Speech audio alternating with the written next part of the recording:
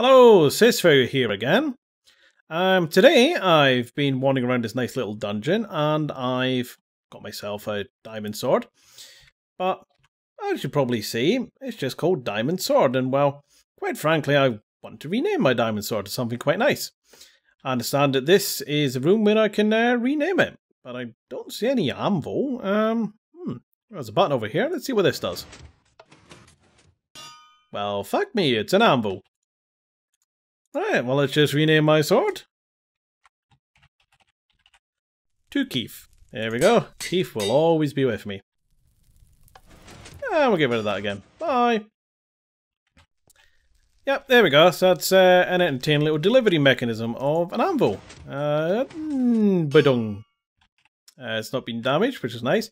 Occasionally it does get damaged. It's really simple actually, let's just hop out and have a look. If you saw my earlier video with the little waving sand uh, machine, which just made them sort of wave up and down as it sort of landed, then you know what this is? Well, I found another use for it. It turns out that anvils can actually be thrown up in the air by these as well. So, similar system, you press the button, that opens, anvil goes down, gets thrown up, and it's there. And then once you're done with it, you drop it back down again.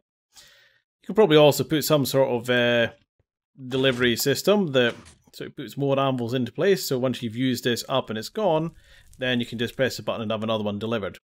Obviously, if you did have a system like that and you press the button with an anvil up here, it would fall on itself and then you would absolutely knacker it. So, probably not the best idea. But there you go. Guessing you've probably not seen an anvil delivery system like that before. So if you do want to know how to build what's under there, just watch the previous video on the uh, sand wave machine and you'll see how to do it. So as per usual, thanks for watching and bye bye.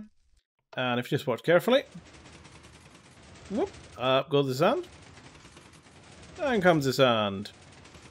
And back up again, and so on. Just turn that off. There we go.